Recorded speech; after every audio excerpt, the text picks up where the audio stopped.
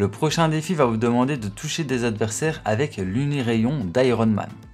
pour réaliser ce défi, vous avez plusieurs solutions. Soit vous venez euh, à côté de Grimgate, juste ici pour parler à Iron Man et justement lui acheter euh, ben, son euh, kit de combat d'Iron Man. Mais ça coûte 600 lingots d'or. Là actuellement j'ai pas assez de lingots. Ça c'est la première solution si vous voulez pas le chercher. Après vous pouvez sûrement les trouver dans des coffres d'Avengers. C'est possible mais vous allez aussi principalement les trouver dans des coffres de Stark Industries, donc les, coffres qu'il y a juste en face de moi. Donc regardez, j'ai ouvert mon premier coffre, enfin mon deuxième coffre, et j'ai obtenu les gants d'Iron Man. Voilà.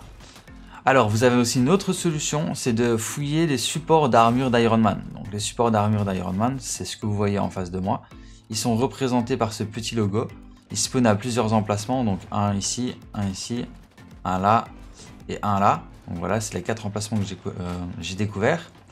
Et euh, ils spawnent au début de la première euh, tempête, un truc dans le genre. Donc tout au long de la partie, ils vont, apparaître. Et quand vous allez interagir avec eux, bah, vous allez pouvoir obtenir justement un pouvoir d'Iron Man. Donc c'est un peu aléatoire. Là, regardez, là, il m'a carrément donné le kit complet. Donc les jambes plus les bras. Et en fait, je pense que ça a peut-être un rapport avec le logo. Parce qu'ici, j'ai le logo vraiment d'Iron Man en rouge, donc peut-être que là, ça vous donne les deux équipements d'un coup. Et quand c'est un logo gris comme ça, bah, ça vous donne un, pourcentage de chance d'en obtenir, mais pas à, tous les coups. Donc voilà, ça à vérifier, je ne suis pas sûr. Enfin bref, quand vous avez les gants, parce que c'est les gants qui font l'unirayon. Donc quand vous avez les gants, vous allez devoir infliger des dégâts aux adversaires avec ce, avec ce pouvoir, tout simplement. Donc là, regardez, j'ai un adversaire en face de moi, boum, voilà, je ne l'ai pas touché par contre.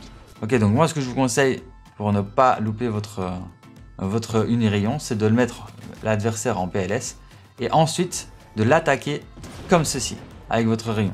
Alors il faut savoir que le rayon, il y a un temps de recharge de 20 secondes. Donc euh, voilà, c'est pour ça que je vous conseille quand même de mettre les adversaires par terre.